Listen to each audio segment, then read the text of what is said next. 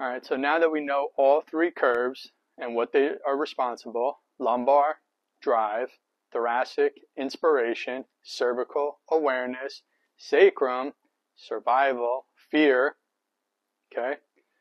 During COVID or the way that our jobs are nowadays, everybody's sitting on the couch, everybody's sitting at a computer. First thing we lose is our lumbar curve. That's responsible for our drive in life. Next curve we lose, shoulders round, hands come forward to the keyboard, tuck over, and we're typing. We lose our inspiration in life. Then we get on our cell phone, iPad, whatever.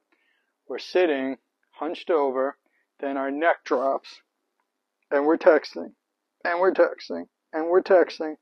We lose complete awareness of our surroundings in the world. Something else that's really important to know is that our eyes always want to be level with the horizon. Okay, you understand that. Now, when we start texting, the head comes down, and then the eyes always want to keep coming up to be level with the horizon. So, what it tells the body is we're in a little bit of trouble. That sends the body into sympathetic mode, fight or flight. You're stressed out, you're fearful, you're in survival mode. You're trying not to drown, you're trying to keep your head above water. The body feels stressed.